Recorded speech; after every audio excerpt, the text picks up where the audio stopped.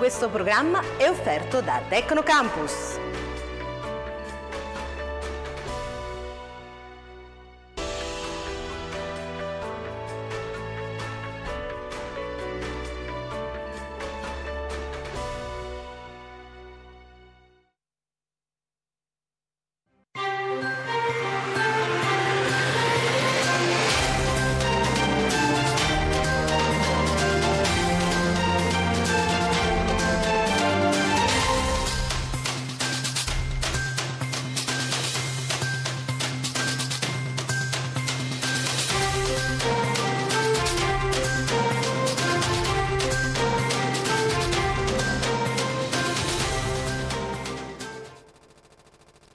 Mercoledì 5 giugno, buongiorno da Teleprima, benvenuti anche oggi alla nostra quotidiana rassegna stampa che come ogni mattina è offerta da Tecnocampus. Anche questa mattina sono tantissimi fatti in primo piano, si parlerà di politica, sembra che ci sia stato un avvicinamento tra Matteo Salvini e il vice premier Di Maio, quindi un fiato uh, viene tirato proprio da Conte che comunque aveva dato un ultimatum ai suoi due vice premier. E ancora vediamo tanti altri fatti, si parla ancora di magistratura, ancora sono in primo piano tutte quelle che sono le situazioni sempre inerenti alla corruzione e ovviamente tutti i punti di domanda che questa situazione ormai sta portando con sé. Ma insomma tanti fatti che andiamo a vedere subito con le testate nazionali, cominciamo questa mattina con il Corriere della Sera e vediamo infatti che proprio in apertura di pagina c'è il CSM, così pilotavano le nomine, gli incontri tra toghe e politiche in hotel e alle cene. L'irritazione di Mattarella che dice questa è una ferita gravissima. Infatti altri due consiglieri si autoespellono e si autosospendono. Richieste allo Tito per i biglietti dello stadio, Ermini basta giochi di potere e traffici venali. Insomma, sembra che proprio sia un coinvolgimento a tutto tondo per quanto riguarda un elemento della nostra società che è così eh, principale, che è così fondamentale proprio per l'attività di tutti. Insomma la magistratura è l'organo competente a giudicarci, ma quando incominciano ad esserci sospetti sempre più acclarati diventa complicato anche credere in quella che è la vera e propria giustizia, giustizia che troppo spesso viene annunciata come qualcosa di veritiero, ma in questo caso sembra essere proprio stravolta da qualsiasi altra situazione. Eh, situazione insomma, vediamo che la, la realtà si presenta proprio complicata. E vediamo ancora gli altri fatti fatti in primo piano, il governo e i calcoli sbagliati nell'editoriale di questa mattina, le leggi e il futuro, mentre nella parte centrale della pagina calcio Macron, e lo vediamo nell'immagine, in campo contro la Super Champions. Il presidente francese dice dobbiamo tutelare i nostri club. E ancora nella parte destra la questione morale anche tra i magistrati. Infine vediamo nella parte più bassa della pagina il no dell'Europa sul debito italiano, Lega, Movimento 5 Stelle e finalmente c'è l'intesa sui cantieri, mentre nella parte sinistra la falsa idea di poter crescere facendo debiti. Ormai ci hanno abituato proprio a questa realtà, sembra davvero che siamo uh, convinti che i debiti siano il nostro pane quotidiano, ma la realtà è tutt'altra perché più ci si indebita più difficile sarà sopperire a quelle spese che un tempo si credeva di poterla sostenere. Ancora vediamo gli altri fatti, ci spostiamo sulla verità, nasce lo sblocca Salvini, governo riparte, e dice il eh, quotidiano La Verità questa mattina, per ora Di Maio e Conte cedono sull'emendamento del Carroccio e scongiurano la crisi, Grillino sale al colle. Vogliamo andare avanti. Sventato il primo tentativo di spallata, ma ce ne saranno altri. Questo è l'avvertimento che dà proprio la verità. E intanto la difesa calpestata, ben svegliati colleghi generali, però forse è tardi. E nella parte centrale della pagina una notizia che ci farà uh, rimanere tutti a bocca aperta, tenta di violentare una bimba già libero. A Roma pedofilo appena scarcerato viene bloccato giusto in tempo dai passanti ma non finisce dentro. Pensate un po', uh, quindi colto in flagranza di reato eppure la realtà si presenta completamente diversa da quella che vorremmo, ossia chi viene eh, trovato a compiere un reato simile perché è proprio di, uno di quei reati sempre più eh, gravi, che cosa, viene, eh, che cosa gli viene assicurata? La libertà. Insomma, questo non va proprio bene. E ancora il passo verso l'abisso, ragazza di 17 anni ottiene l'eutanasia perché è depressa. E ancora nella parte bassa della pagina la flat tax è arrivata, almeno per i pensionati, mega incentivi per chi rientra dall'estero.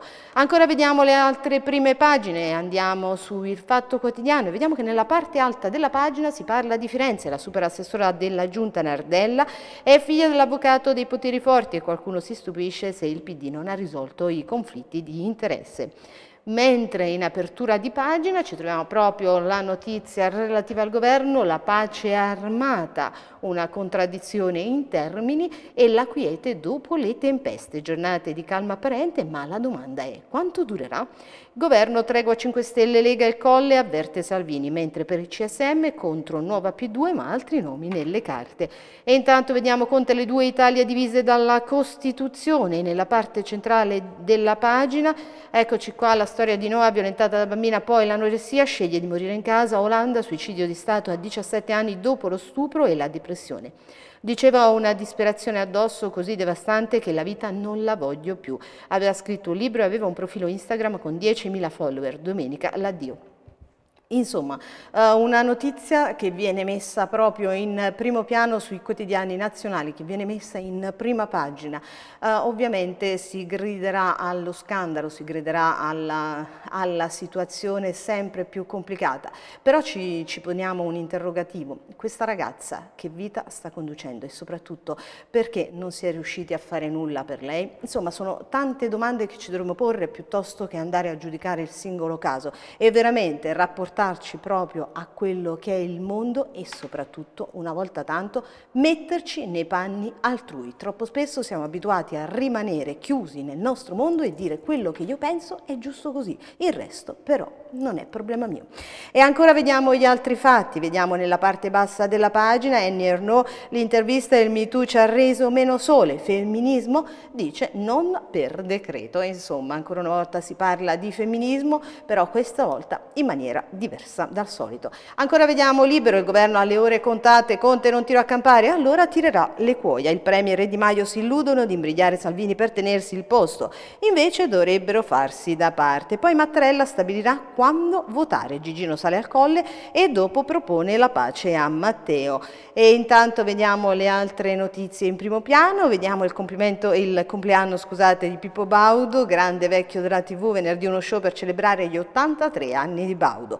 E ancora siccome non sanno cosa fare decidono di non fare niente e si parla dei giudici litiganti che a quanto pare si allungano le ferie.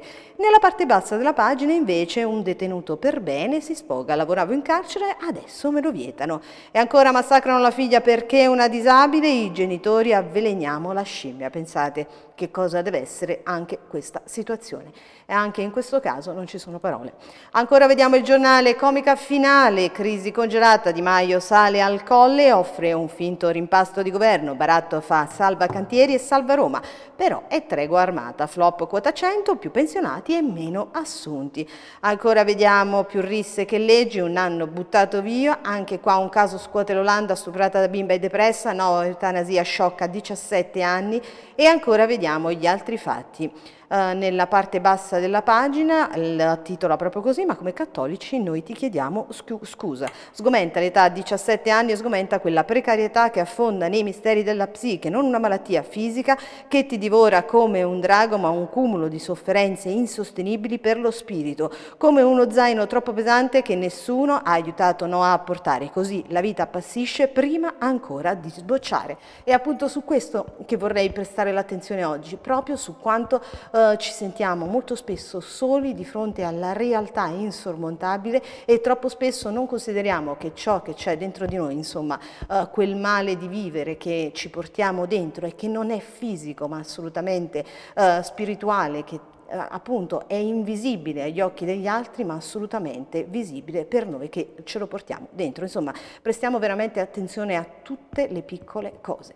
Ancora vediamo altri due PM si sospendono, il CSM ora rischia la paralisi, magistratura nel pantano e nella parte bassa della pagina fake news di Greta e company valgono solo lo 0,001% delle emissioni, fermare tutte le auto non ferma il CO2.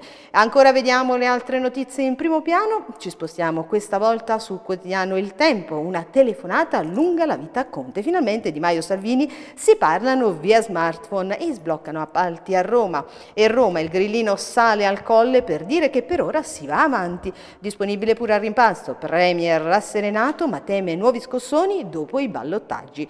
E intanto vediamo proprio un colloquio in questa pagina, una foto e per quanto riguarda il centrodestra Silvio ipoteca la sua villona in Sardegna e compra la casa di Marco Columbro.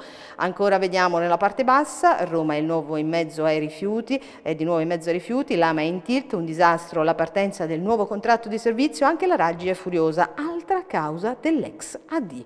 Ancora nella parte bassa della pagina la musica contro la depressione, c'è un'arpa che suona nel cuore di Villa Borghese, mentre si indaga a Trigoria un corpo carbonizzato trovato nel rogo dei rifiuti. E ancora nella parte bassa della pagina, processo le gemelle attrici accusate e recidive per aver rubato occhiali in prati.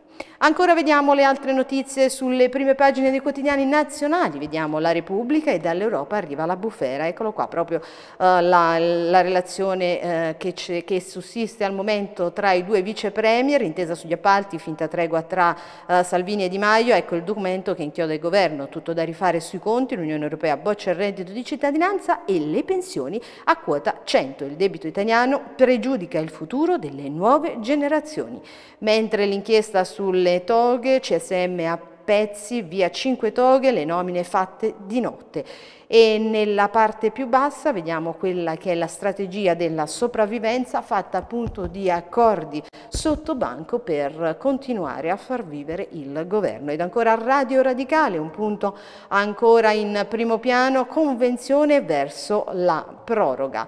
E intanto nella parte destra della pagina la scelta di Noa, depressa dopo uno stupro, ha voluto l'eutanasia a 17 anni. E ancora nella parte bassa della pagina Kunz e Company, qui gli artisti un po' copioni e appunto viene raccontato proprio in questa pagina, ma chissà di che cosa staranno raccontando. E ancora vediamo il manifesto in questo mercoledì, Ermini, traffici venali nel CSM, guerra tra toghe, l'affondo del Presidente del Consiglio Superiore della Magistratura, mentre in un'intervista a Riccardo De Vito dice nel Consiglio c'è una vera e propria questione morale e nella parte centrale della pagina il titolo è Telefono amico. E infatti sull'orlo di una crisi di governo Di Maio chiama Salvini e sul filo del telefono smuca la mediazione per lo sblocca cantieri. Il capo dei 5 Stelle si rianima, sale al colle e tranquillizza Mattarella alla vigilia della lettera dell'Unione Europea, ma la Lega resta minacciosa, ne riparliamo tra 15 giorni. Insomma c'è un limite a tutto. E ancora nella parte bassa della pagina, ecco qua, Londra contro Trump che non vede Corbyn. American Psycho viene titolato così questo, uh, questa notizia, il capitalismo digitale, non solo Google, USA, tutti i big adesso vanno sotto inchiesta. E per il Friday for Future uh, Greta non va a scuola e ci dà un'altra lezione. E infatti questo uh, lo vediamo proprio in questo articolo. Greta Thunberg ha reso noto che salterà il prossimo anno scolastico per dedicarsi al compito di continuare a tenere allerta la Terra. Insomma, questa è anche una di quelle notizie che ci possono far riflettere, ma soprattutto porre tanti interrogativi. Un anno intero senza scuola per combattere per la salute della terra. Ma c'è un ma, a questo punto mettetelo voi però. Ancora continuiamo a vedere le notizie in primo piano proprio sulle testate nazionali e vediamo il mattino che cosa ci presenta in apertura in questa giornata. E vediamo nella parte alta le brevi. Il libro Leonardo Gourmet tra broccoli e la macchina per gli spaghetti. E intanto si parla ancora della telenovela Sarri, la Juve Famelina ma Sarri è già pronto a togliersi la tuta. E intanto cento anni fa quando il mattino scovò Padre Pio, i il frate che fa davvero i miracoli. E nell'apertura di pagina Lega Movimento 5 Stelle, la tregua forzata e il rischio della stangata dell'Unione Europea spinge i due vice premier all'accordo sullo sblocca cantieri. Il leader grillino da Mattarella che chiede di proteggere i conti, oggi il verdetto di Bruxelles. Insomma, sono vere e proprie prove di tregua nel governo. Movimento 5 Stelle e Lega trovano l'accordo sullo sblocca cantieri. Di Maio sale al Quirinale. Bisogna fare presto, chiarezza e mettere al riparo i conti pubblici, sollecita il Presidente della Repubblica preoccupato per l'andamento dell'economia, ma anche dalla necessità per il Governo di indicare una figura autorevole alla Commissione europea. Oggi la valutazione dell'Unione Europea, possibile però, attenzione, la procedura di infrazione. E intanto dal Ministro Tria arriva l'allarme per il Sud, i dati sono sempre più sconfortanti. E ancora dal Sud Boccia e Mezzogiorno vuole lavoro, assolutamente non aiuti, è proprio il Presidente di Confindustria Boccia che eh, lo dichiara concludendo l'Assemblea dell'Unione Industriale a Napoli e rilancia infatti l'allarme. Nel Sud il lavoro è senza risposte. E intanto il caso Report, giù le mani dal caffè napoletano. E infatti, secondo questo articolo, a me il caffè fa perfino dormire, aggarba tutto, è il report, è il report che mi rende nervoso con questa storia shock che la tazzulella nostra è una ciofeca. Dopo cinque anni il report è tornato sul luogo del misfatto. Il Gran Caffè Gambrinus allora dice tre e mezzo in pagella al caffè, ora si è degnato di dare un quattro e mezzo cinque. Stiamo migliorando. Il gran giustiziere di un mito si chiama Andrei Godina ed è triestino, eh, Dio che noi mettiamo mettiamo, mm, dicono che noi mettiamo nella miscela troppo robusta perché costa meno e invece è l'arabica a dare il giusto sapore. Insomma, anche su questo c'è uno scontro aperto tra nord e sud, il caffè come vi piace, il caffè come è buono, ma insomma tutto deve essere giudicato, valutato, ma ovviamente a fare la differenza, se, sempre secondo me, è ciascuno di noi. Insomma, prestiamo un po' di attenzione e diciamo che di prima mattina un buon caffè ci sta sempre bene.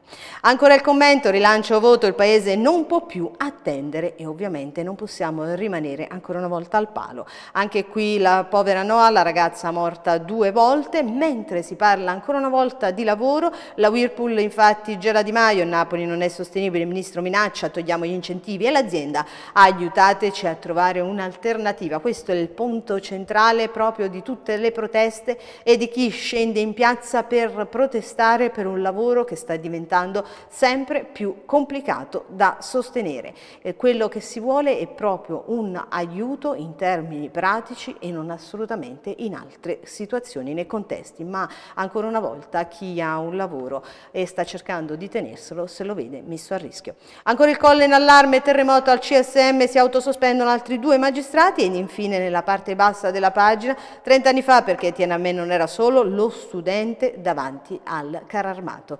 Eh, il, ovviamente stiamo parlando parlando della famosa piazza Tiananmen, una parola magica, un nome che ancora oggi commuove, ma perché in pratica, eh, in concreto, il preciso, che cosa ricordiamo di quella parola, di quel luogo, di quell'evento a 30 anni dagli eventi, come spesso succede, ci capita di venire chiamati a commemorare, a celebrare fatti dei quali abbiamo solo una vaga memoria e a proposito dei quali ci vengono fornite informazioni molto generiche e sono addirittura fuorvianti. Quanti ricordano qualcosa di più nello specifico specifico a proposito degli eventi di quei giorni, certamente hanno in mente l'immagine che sempre viene riprodotta, quella di un uomo, forse uno studente, che impedisce a un carro armato di passare spostandosi mentre il veicolo prova a schivarlo. E insomma, ancora tante eh, realtà, tanti fatti, tante eh, notizie drammatiche, tanti eventi da ricordare di cui spesso però non abbiamo memoria. Ancora vediamo la stampa, Tria promessa all'Unione Europea, correggeremo i conti con 3,5 miliardi l'anno. Questo l'impegno nell'allegato alla lettera a Bruxelles, oggi via l'iter per la procedura e sullo sblocca cantieri, Movimento 5 Stelle cede alla Lega, Di Maio a Mattarella. Andiamo avanti, caso CSM altri quattro giudici lasciano Cascini e come lo scandalo P2 E intanto vediamo da un lato l'ultimo miglio di Salvini ed ancora nell'Emilia che vota il leader leghista abbandonati dal PD. Questa è la ragione per cui si cambia partito. Ancora vediamo nella parte centrale della pagina i gabbiani minacciano il paradiso dei fenicotteri in Sardegna e laddove ci sono uh, i gabbiani sembra che uh, la situazione non sia di quelle migliori visto che troppo spesso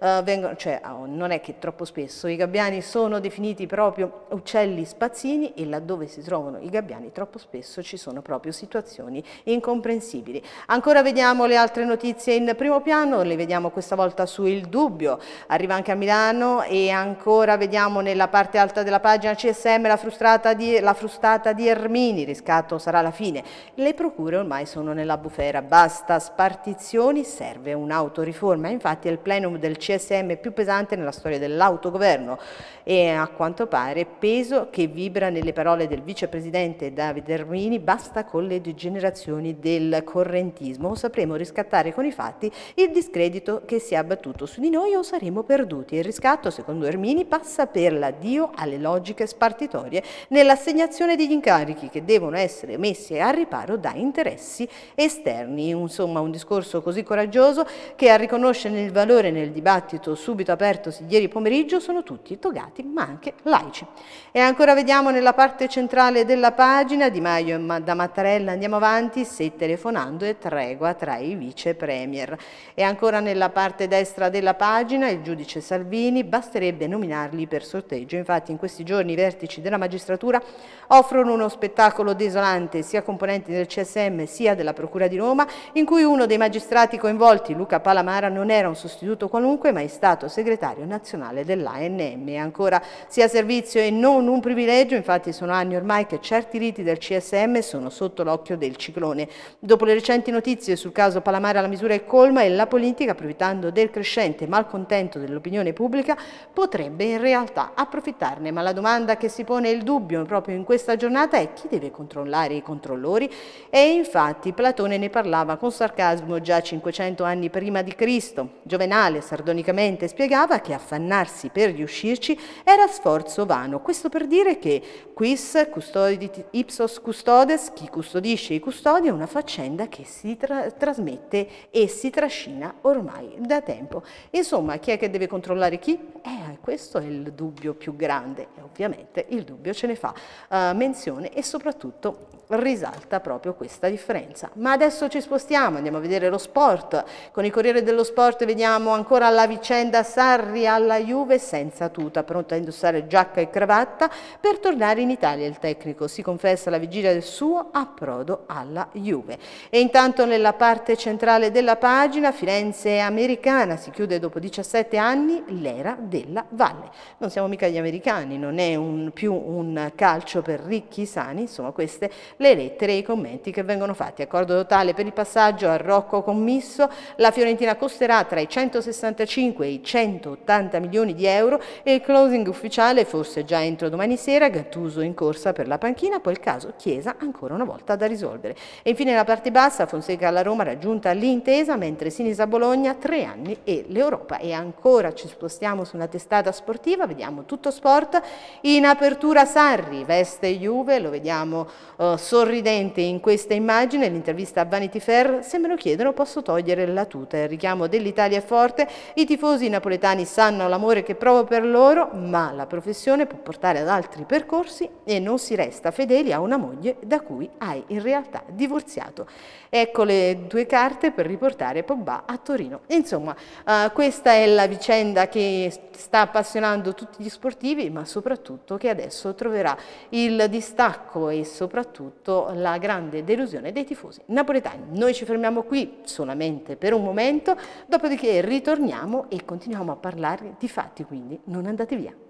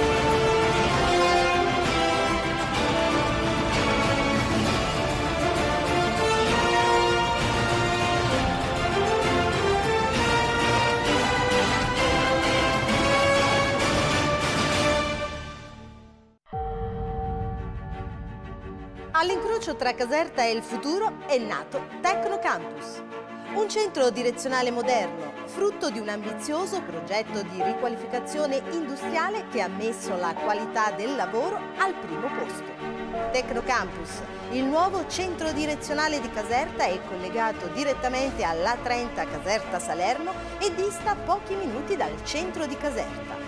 Tecnocampus SRL, Viale Lincoln, zona industriale, ex Sangoben Caserta. Tecnocampus, la soluzione al centro.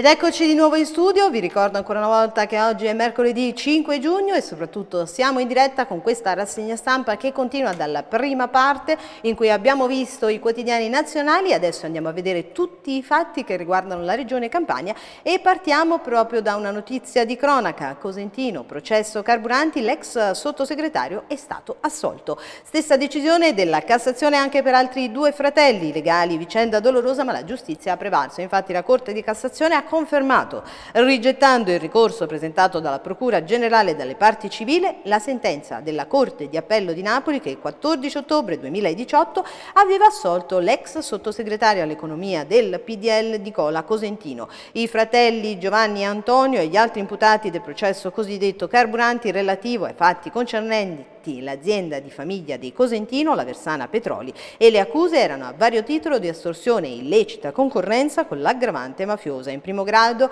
l'ex politico di Casal di Principe era stato infatti condannato a sette anni e sei mesi di carcere, mentre i fratelli Giovanni e Antonio erano stati inflitte rispettivamente condanne a nove anni e mezzo e cinque anni e quattro mesi. E assolti anche il funzionario della Regione Campania Luigi Letizia, condannato in primo grado a cinque anni e quattro mesi e inoltre i dipendenti della Kuwait Bruno e l'imprenditore ritenuto vicino al clan Zagaria Michele Patrizio Sagliocchi. Insomma una vicenda che trova ancora una volta conferma e soprattutto un ribaltamento di quello che è stato il primo grado di giudizio. Ancora vediamo le altre notizie in primo piano, si parla ancora di cronaca e questa volta della bufera procura NM Napoli. I consiglieri coinvolti si dimettano, linea dura e sdegno rispetto alle condotte che gettano discredito sull'istituzione e infatti per salvaguardare e non coinvolgere le istituzioni, i consiglieri che sono o dovessero risultare coinvolti diano immediatamente le proprie dimissioni. A chiederlo è l'Assemblea distrettuale dell'Associazione Nazionale Magistrati, la sezione di Napoli,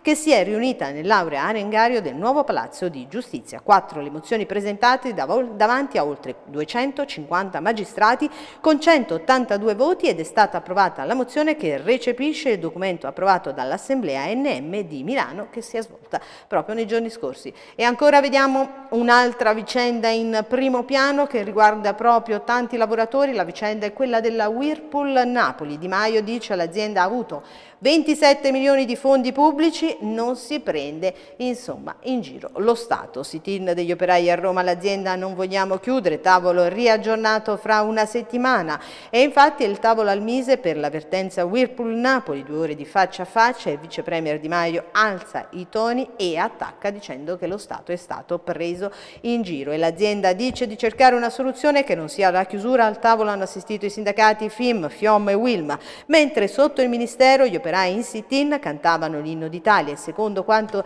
si apprende da fonti sindacali presenti all'incontro il tavolo è stato riaggiornato fra una settimana per dare tempo all'azienda di riflettere su possibili soluzioni alternative, anche perché la situazione adesso rimane sempre più eh, temibile, soprattutto per tanti lavoratori, perché in generale sono proprio loro che ci vanno a rimettere.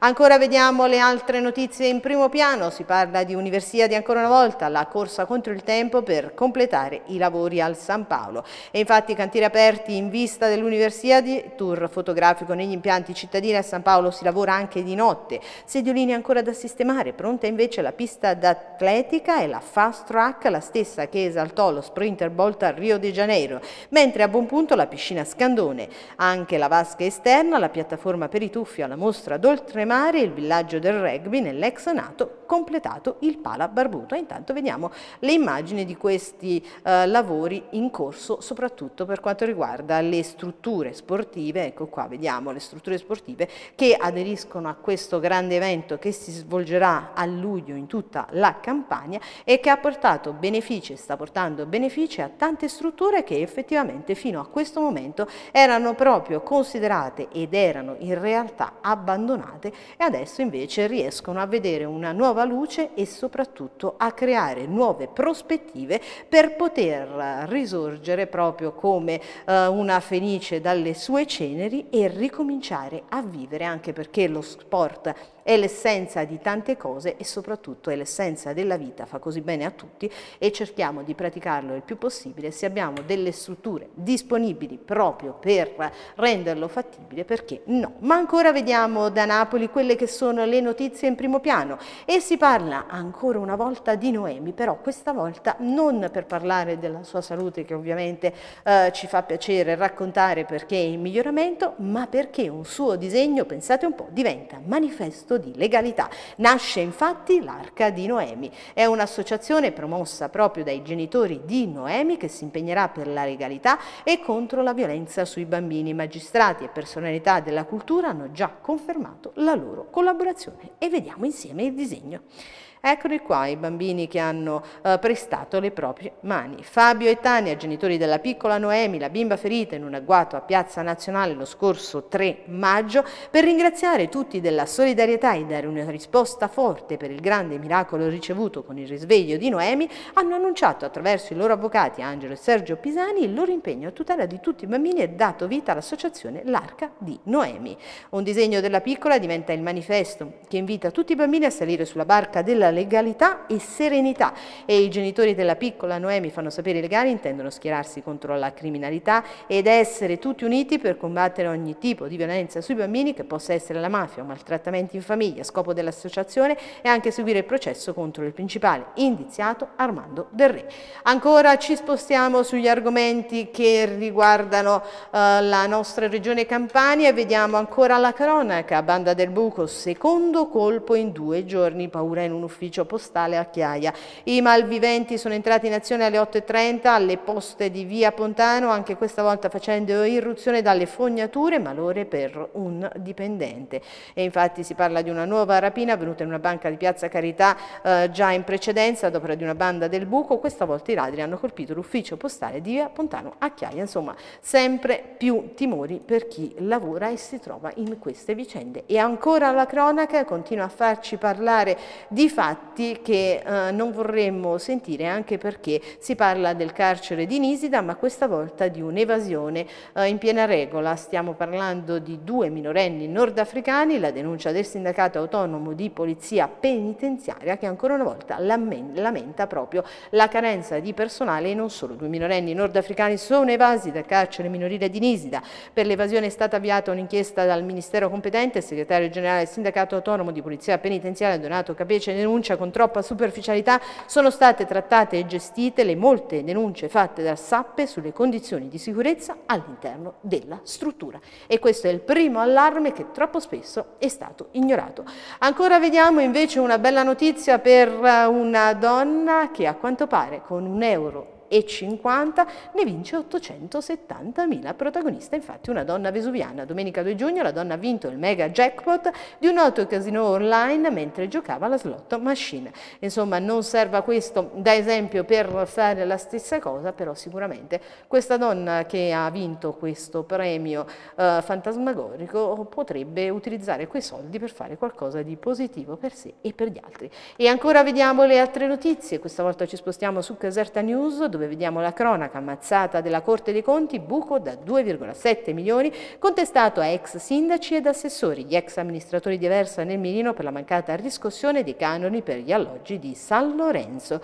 E infatti è proprio un terremoto politico-giudiziario che colpisce Aversa a pochi giorni dal ballottaggio del 9 giugno. La Corte dei Conti della Campania indaga infatti due ex sindaci, due ex assessori e tre dirigenti per danno erariale in merito alla mancata riscossione dei canoni degli occupanti occupanti degli alloggi comunali di via San Lorenzo e per la procura contabile ci sarebbe un buco erariale di circa 2,7 milioni di euro per la cattiva gestione dei 136 alloggi comunali, quasi tutti abusivamente occupati e per i quali il Comune non si sarebbe in realtà mai impegnato nel recupero delle somme mai pagate o nel liberare gli alloggi appunto occupati abusivamente.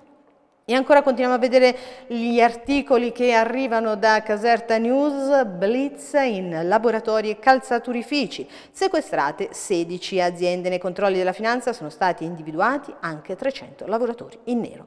Parallelamente all'esecuzione del piano di intervento regionale per il contrasto ai roghi di rifiuti, che ha visto da ultimo operare insieme sotto il coordinamento delle rispettive amministrazioni centrali, le fiamme gialle gli ispettori territoriali del lavoro delle diverse province campane i reparti territoriali dipendenti del Comando Provinciale Guardia di Finanza di Caserta hanno dato avvio ad un'autonoma articolata attività ispettivamente ad oggetto le aziende del settore tessile e calzaturiero con i laboratori attivi nei comuni e provincia ricompresi nella terra dei fuochi. Insomma, si va avanti in questa vicenda che serve proprio per appurare e determinare quelle che sono le aziende che lavorano in nero con dipendenti in nero e che producono sotto banco merce che produrrà poi scarti che ovviamente verranno abbandonati in quella che è stata denominata terra dei fuochi, ma alla fine è semplicemente una terra dell'incuria in cui il rispetto non esiste.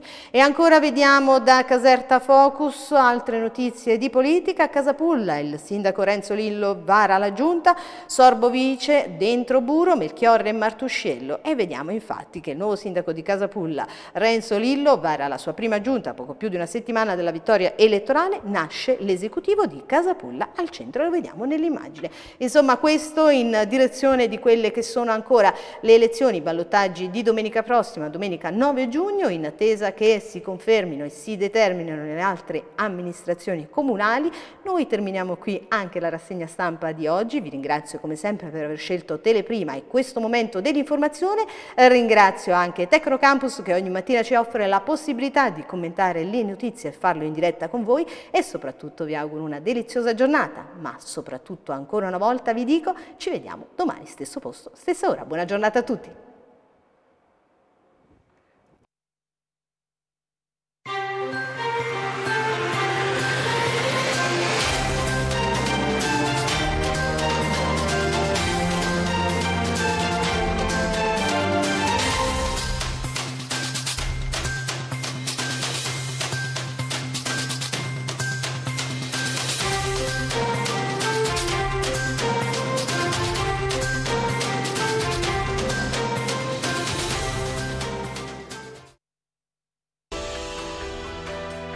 Programma è stato offerto da Tecnocampus.